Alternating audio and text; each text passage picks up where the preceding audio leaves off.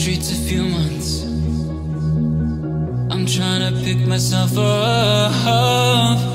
I may be living alone, but I still believe in love. And although my flaws.